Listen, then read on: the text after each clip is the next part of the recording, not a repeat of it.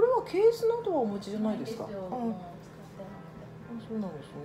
あとあのこれのコマとかは取ってらっしゃらなない？いないんです。ないですか？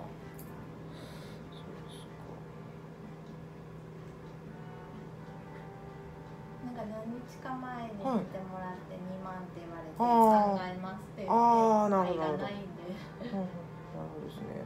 うん。あのえっとですねうん。グランドセイコーにも多分そのランクがあると思うんですよね、うんうんでちょっとこれあのあれですね。ちょっとこう言ってはなんですけどそんなに高級なラインじゃないようです、うん。はい。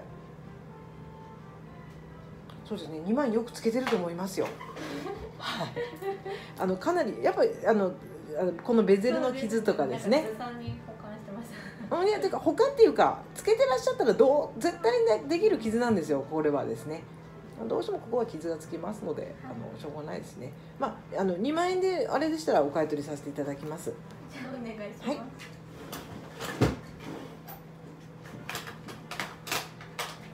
すいません。こちらにですね2万円って書いていただきまして。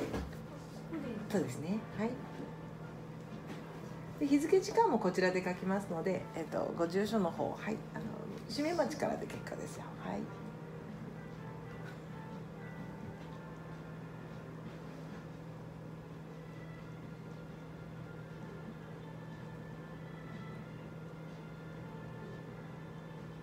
うちのお店は最初は何でお知りになられたんですか？え通ってて看板？ああのここを通ってて、はいあそうなんですねありがとうございますでいらないやつ売ったら高値がついたあなるほど、ありがとうございます。